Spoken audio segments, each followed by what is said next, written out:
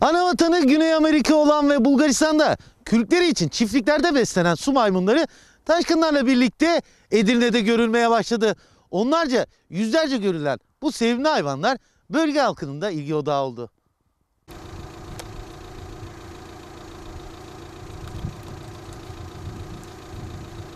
Görüyorum burada her gün görüyoruz. Bak yuvaları bak orada Karsas Sazdağ'ın altında az önce vardı.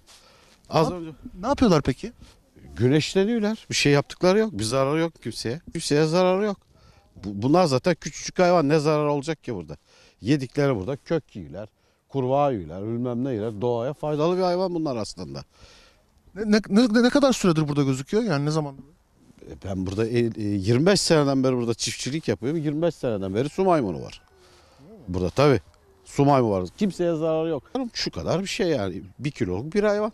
Ne yapabilir yani? Tavuk kadar bir şey. Zararı yok ama şuralarda bu e, kanalda, derede daha doğrusu hep var. İleriki göller var. hep var. Ya burada ben en aşağı belki 30-40 tane kadar gördüm yani. Ee, Yunanistan şey pardon Bulgaristan bunları bakıyormuş çiftlik hayvanıymış. Baraj patlayınca su pastası taşkınla geldi. Yukarıki nehirde Meriç, Arda, Tunca göller var burada 7 bölgede. Onların içinde hepsinde var ama hiçbir zarar falan yaptıkları yok hayvanların.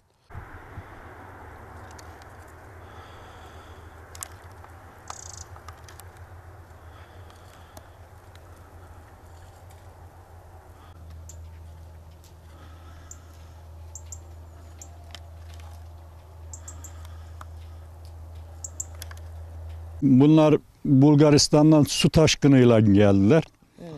Bulgaristan'da çiftliklerde bunlar baktıklarını söylüyorlar ama bunların as- asıl memleketleri Güney Amerika Evet. olduğunu söylüyorlar. Su maymunu diyorlar. Herhangi bir zararları yok yani burada bize. Siz ilk gördüğünüzde peki e, Merak ettim ben de. Çok merak ettim, araştırdım. Su maymunu olduğunu söylediler yani. İlkten ben fare zannettim onları.